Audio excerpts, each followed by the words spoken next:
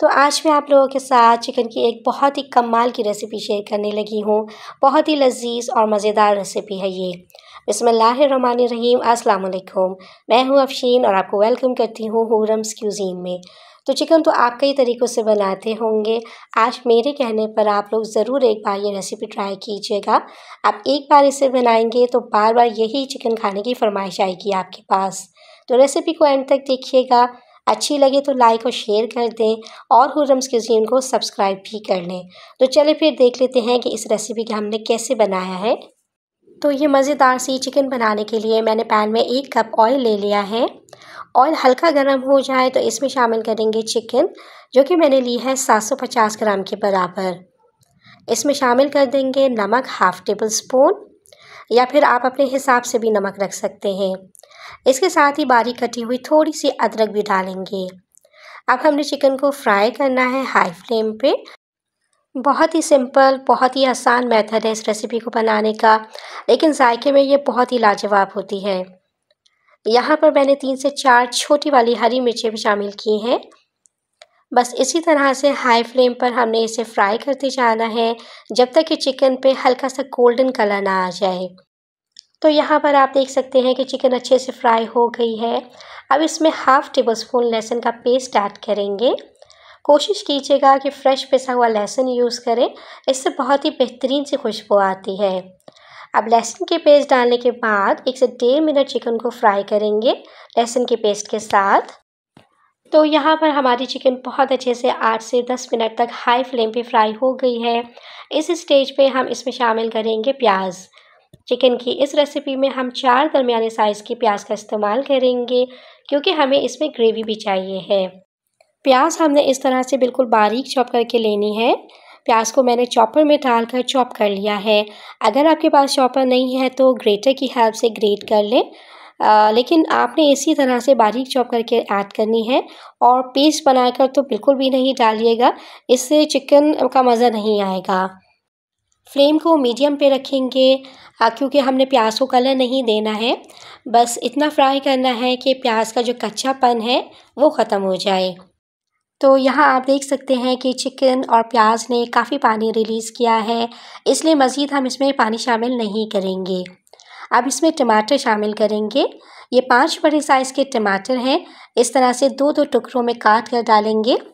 अच्छे से लाल वाले टमाटर इस्तेमाल कीजिएगा ताकि सालन का कलर अच्छा आए। अब हमने इसे कवर कर देना है और इसे पकाना है पंद्रह मिनट के लिए लो टू मीडियम फ्लेम पे ताकि टमाटर सॉफ्ट हो जाए और चिकन भी हमारी अच्छे से कुक हो जाए। तो पंद्रह मिनट हो गए हैं और यहाँ आप देख सकते हैं कि टमाटर काफ़ी हद तक सॉफ्ट हो गए हैं। और अब हमने टमाटर की स्किन को रिमूव कर देना है। इस तरह से देखिए, चिमटे की हेल्प से हम इसकी स्किन को रिमूव कर देंगे। गैस की फ्लेम को दोबारा से हाई पे कर देंगे और ख़ूब अच्छे से हमें इससे भूनते जाना है। टमाटर देखिए सॉफ्ट हो गए हैं और चिकन भी बहुत अच्छे से टेंडर हो गई है। इसी स्टेज पर हमने इसमें स्पाइसेस ऐड करना है। पिसी लाल मिर्च डालेंगे वन टीस्पून धनिया पाउडर ऐड करेंगे हाफ़ टेबल स्पून कुटी लाल मिर्च शामिल करेंगे वन टेबल स्पून के बराबर। ज़ीरा powder one tablespoon add करेंगे।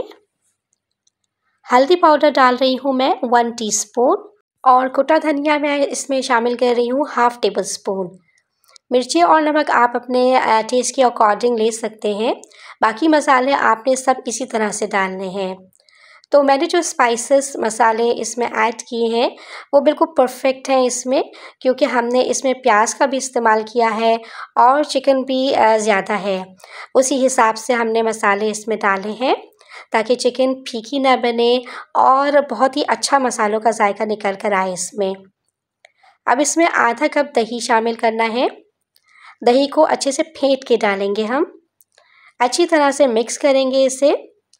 बस अब हाई फ्लेम पर हमें इसे पकाते जाना है। माशाल्लाह से बहुत ही बेहतरीन से ये चिकन कढ़ाई बनकर तैयार हो रही है, जिसमें आपको बेहतरीन सा मसाला भी मिलेगा और खाने में बहुत ही लाजवाब, मक्खन जैसी स्मूथ और मुलायम ये बनकर तैयार होती है। कि देखिए, मैं इसे बहुत ही अच्छे से मिक्स करती जा रही हूँ। हमने यहाँ अच्छे से इसकी भुनाई कर लेनी है। तो यहाँ पर आप देखिए, इसकी बहुत ही अच्छे से बुनाई हो चुकी है। मसाला अच्छी तरह से पक चुका है। आठ से दस मिनट तक मसाले को दही डालने के बाद मैंने अच्छे से पकाया है। इस स्टेज पे आप चाहें तो हाफ़ टी स्पून गर्म मसाला पाउडर भी शामिल कर सकते हैं। अब जो आखिरी के लवाजमात हैं, वो डालेंगे, जिनमें कसूरी मेथी है वन टेबल स्पून हाथों से क्रश करके डालेंगे। बारीक कटी हुई अदरक शामिल कीजिएगा।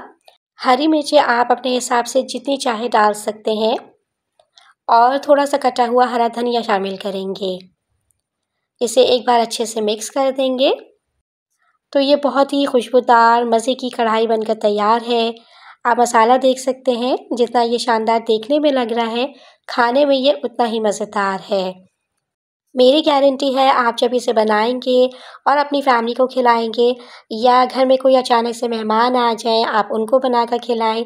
ये चिकन कढ़ाई तो वो लाजमी आपसे पूछेंगे कि आपने ये रेसिपी किस तरह बनाई है कौन सी चीज़ें इसमें ऐसी डाली हैं, जिसकी वजह से ये बड़ी ही मज़े की बनकर तैयार हुई है। तो गर्मा गर्म ये चिकन कढ़ाई एक बार तो ज़रूर आपने बनानी है और इसे सर्व करें चपाती, नान और ताफ्तान के साथ। तो लीजिए, आज की बहुत ही मज़ेदार सी रेसिपी बनकर तैयार हो चुकी है। इतनी लजीज रेसिपी है ये कि खाते खाते पेट तो भर जाता है, लेकिन नीयत नहीं भरती है। तो फ्रेंड्स आई होप कि ये रेसिपी आपको पसंद आई होगी। लाइक और शेयर ज़रूर कर दीजिएगा अपने फ्रेंड्स एंड फैमिली में। और अगर आप मेरे चैनल पर न्यू हैं तो काइंडली सब्सक्राइब करना मत भूलिएगा। साथ में लगे बेल आइकन के बटन को भी प्रेस कर लीजिएगा, ताकि मेरी हर न्यू वीडियो का नोटिफिकेशन आपको ईजिली रिसीव हो सके। नेक्स्ट रेसिपी में इंशाल्लाह आपसे दोबारा से मुलाकात होगी एक नई रेसिपी के साथ। तब तक अफशीन को इजाज़त दीजिए। दुआओं में मुझे याद रखिएगा, अपना बहुत ज़्यादा ख्याल रखिएगा। अल्लाह हाफिज़।